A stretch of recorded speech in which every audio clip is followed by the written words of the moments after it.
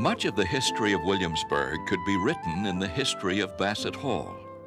Built in the mid 1700s by a member of the colony's small group of wealthy and powerful planters, the house was convenient to the trade shops and government buildings of the growing capital city. The name Bassett Hall came later from owner Burwell Bassett, a nephew of Martha Washington and a member of the Congress of the new United States. By the mid-1800s, an elaborate portico had been added to the house.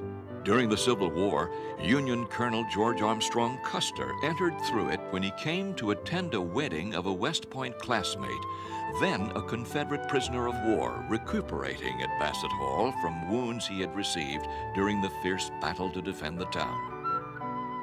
In War and Peace, visited by the famous and the anonymous, Bassett Hall changed, fading with the town that time forgot. But in the 20th century, Bassett Hall was again witness to history. It was first an inspiration and then a home for Mr. and Mrs. John D. Rockefeller Jr., the benefactors who opened at Williamsburg a window into America's past. Into the quiet little town of Williamsburg on a March day in 1926 drove the richest family in America. Abby Aldrich and John D. Rockefeller Jr. and three of their sons were on their way from a visit to nearby Hampton Institute, one of the colleges for African Americans the Rockefellers had long supported. The trip to Williamsburg had been planned so Mr. Rockefeller could see the Phi Beta Kappa Memorial Hall being built at the College of William and Mary. Then they would go on to the historic sites at Yorktown and Jamestown. Waiting for the Rockefellers was the Reverend Dr. William Archer Rutherford Goodwin, rector of Bruton Parish Church, a professor and fundraiser at the college, and fellow Phi Beta Kappan. Goodwin was also a dreamer of dreams, and it was with an extraordinary dream in mind that he waited here at Bassett Hall. Goodwin's dream was to turn back the clock on this small and fading town and to give the world a chance to see again the time in history when America was an idea taking shape. He had restored Bruton Parish Church and more recently the George Wythe House, which he used as a rectory. But these were only two buildings in a whole town of 1920s facades, electric lines and filling stations. Two schools and an electric power plant now sat on land where the governor's palace had once stood. The Capitol building lay in ruins, its history recalled by a stone marker.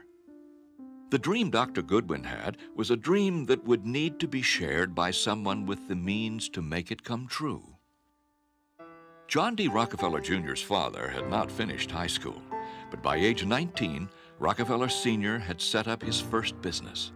By 24, he had gone into the newfangled business of refining oil and in time had organized the world's largest petroleum company, Standard Oil. Rockefeller Sr. established innovative ways of giving his fortune away.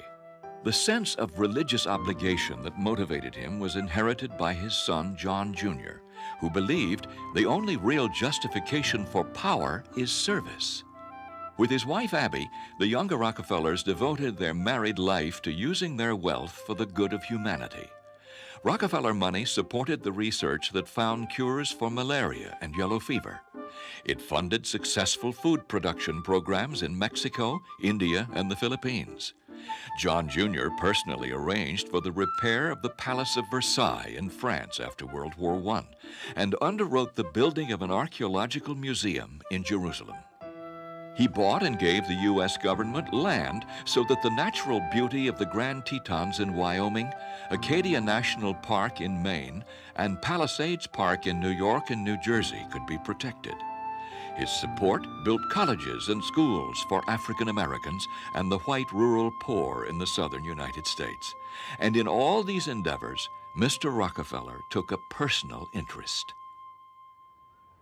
As chairman of the National Committee, which raised money to build Phi Beta Kappa Memorial Hall in honor of the fraternity which was founded at William and Mary in 1776, Rockefeller came to Williamsburg to see how construction was coming along. In Williamsburg, we were greeted by Dr. Goodwin, who of course was a very charming and a very persuasive individual. Uh, and he took us around uh, course, to the Bruton Parish Church, of which he was the rector. But I remember particularly going to the George Wythe House, which um, he told us was one of the most important of the historic buildings still standing. Goodwin did not confront the Rockefellers with his dream while he showed them around. Instead, he just shared his enthusiasm for the town and hoped his fervor might be infectious. That November, when Rockefeller returned to Williamsburg for the dedication of Phi Beta Kappa Hall, Goodwin rented a car and took him on a longer tour.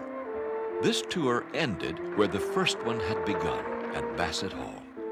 There, as they walked together behind the house near the majestic old oak at the wood's edge, Goodwin described his dream.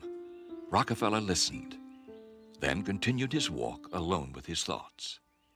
Later that night, as they sat at the dedication dinner, Rockefeller told Goodwin he would finance only architectural sketches visualizing a restored Williamsburg, and only on the condition that his involvement be kept secret. Just days later, Rockefeller's careful response to the dream was tested. Goodwin informed him that the Ludwell Paradise House, a key 18th century building on Duke of Gloucester Street, had suddenly come up for sale. Rockefeller surrendered his initial caution, but not his anonymity. He sent a telegram from David's father. It said, Buy it. With the philanthropist's okay, Goodwin hired William G. Perry, an architect from Boston, whom he met while restoring the Wythe House. Perry put his firm to work drawing sketches of the proposed restoration without knowing who was paying him. Step by step, with many visits and extensive correspondence, Rockefeller became as committed to the dream as Goodwin. Neither had any idea how long such an extensive project might take. Goodwin thought the work might take 10 years. Rockefeller talked of giving three, four, or perhaps even five million dollars. But Williamsburg proved to be a grander inspiration. It was with a feeling of very real reverence, as though we were walking on hallowed ground, that my associates and I entered upon the task of restoring the Williamsburg of earlier days.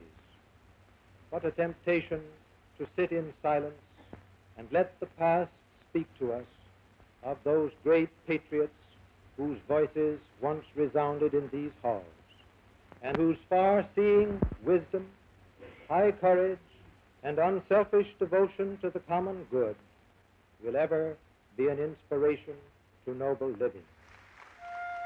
For the rest of their lives, John and Abby Rockefeller watched this process for several weeks each spring and fall from the place they first knew in Williamsburg, Bassett Hall.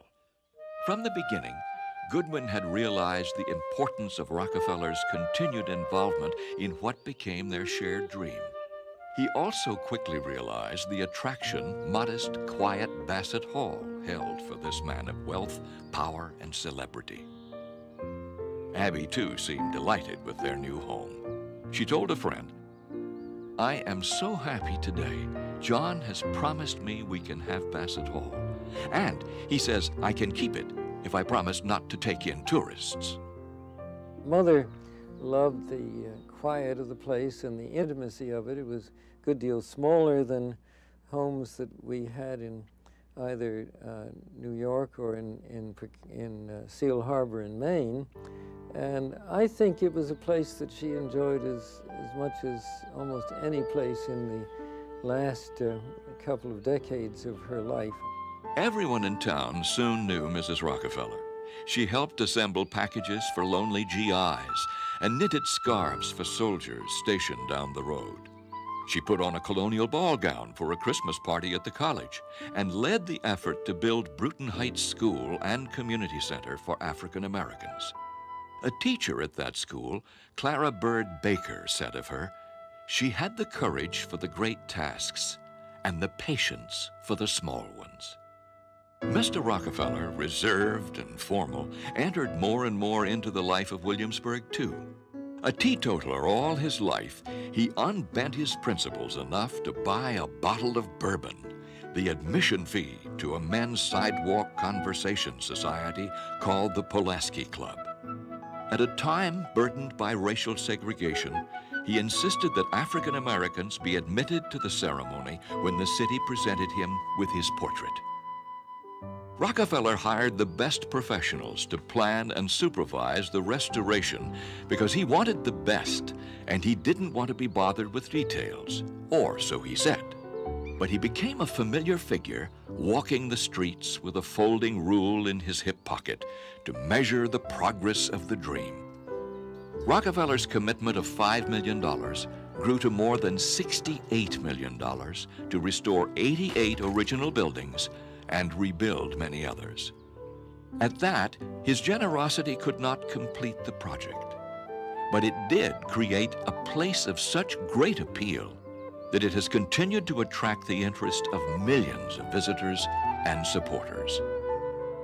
Abby Aldrich Rockefeller died on April 15, 1948, shortly before the time of her annual spring pilgrimage to Bassett Hall. John D. Rockefeller Jr. died on May 11, 1960. A memorial service for him was held under the ancient oak where he and Goodwin first shared the dream of a restored Williamsburg.